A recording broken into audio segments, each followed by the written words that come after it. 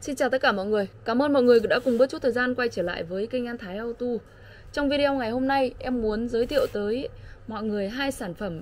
Đó chính là quạt gian lạnh Của xe Toyota Vios Innova Atit, Hàng liên doanh và hàng Denso. Bây giờ em xin mời anh em sẽ cùng à, xem. Cái cách dễ nhận biết nhất đó là ở phía vỏ hộp phía bên ngoài của hàng liên doanh thì nó không có mã số gì không có mã số gì. Chỉ có tên thôi. Đó.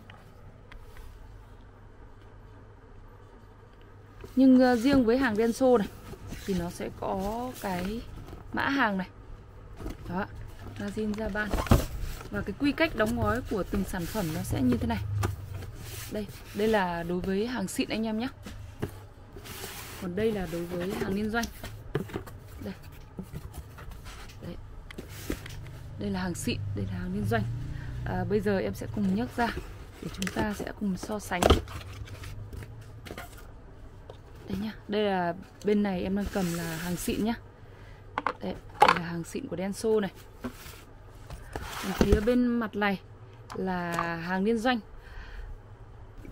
Cách cái nhìn sơ qua thì anh em dễ nhận biết nhất đó chính là cái ờ, màu nhựa của hai chiếc cánh quạt đúng không ạ. À, về cái cánh quạt à, của hàng Denso này thì anh em nhìn này nó rất là chắc chắn này. Đúng chưa ạ? Nó rất là chắc chắn.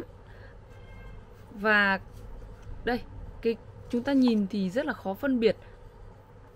Nếu mà anh em à, không không trong à, ngành kinh doanh nhưng mà đây với cái hàng liên doanh này thì à, cái cánh quạt của nó cái màu nhựa của nó nhờ hơn này. Đây anh em nhìn nhé tất cả thì nhìn sẽ giống nhau, nhưng trước tiên dễ nhận biết nhất đó chính là cái cánh. Cánh quạt này đục hơn, sáng hơn. Đó. Đây là, tiếp đến là đây ạ. Phía sau này. Đó. Như với cái hàng xịn là Denso Japan này. Đây. Cọc âm dương à, với cái hàng à, thường này thì không không có. Đó. Ba tay bắt quạt cũng tất cả đều giống y chang như nhau. Từ ba tay bắt quạt này thiết kế ốc này. Đó. Rắc điện này.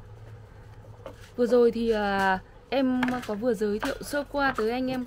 Hai sản phẩm đó chính là quạt giàn lạnh liên doanh và xịn của Toyota Innova Vios Atit Cảm ơn mọi người đã cùng bớt chút thời gian xem video của em anh em có nhu cầu cần tư vấn, hỗ trợ về sản phẩm thì hãy liên hệ với em theo số 0769086333 hỗ trợ kiểm tra lắp đặt thay thế tại gara ô tô BMT số 1 ngõ 319 Tam Trinh. Số liên hệ là 0856727222 Em xin cảm ơn. Hẹn gặp lại mọi người trong những video tiếp theo. Em xin chào.